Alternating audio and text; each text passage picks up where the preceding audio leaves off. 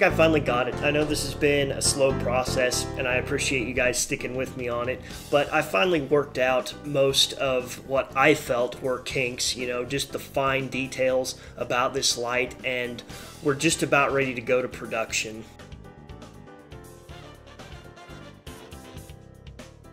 I know some of you are thinking, so we waited another three weeks so you could shave a quarter of an inch off the length.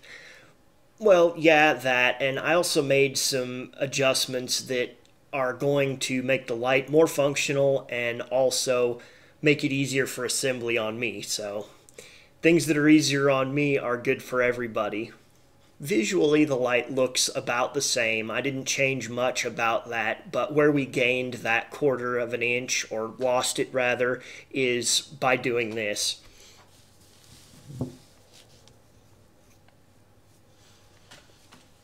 The biggest reason for that, aside from making the light shorter, is so that the driver could have a ring that holds it in rather than a blob of solder or a pressed fit or something like that. I just think it's the most dependable way to do it, and so that's why I wanted to do that.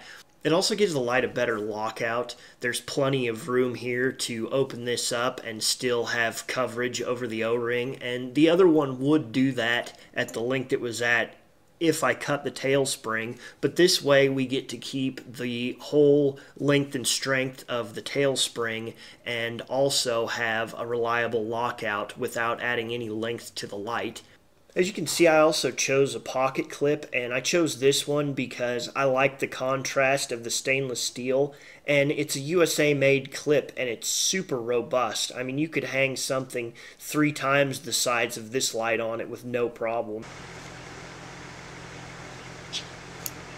I got the switch so that it's an easy press without having any cutouts around it.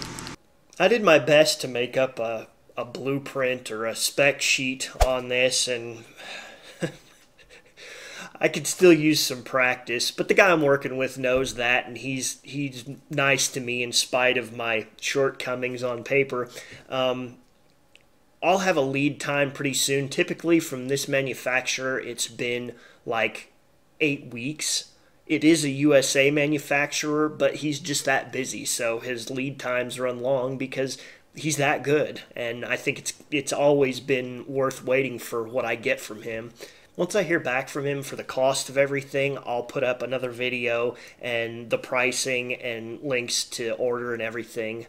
I just want to say again how much I really appreciate all of the feedback and support that I've got for this. I wanted to make sure that we really, really had something good here, and I definitely don't think we would have come up with something this good if I had just tried to do it all on my own. So thank you for that, and good lucks.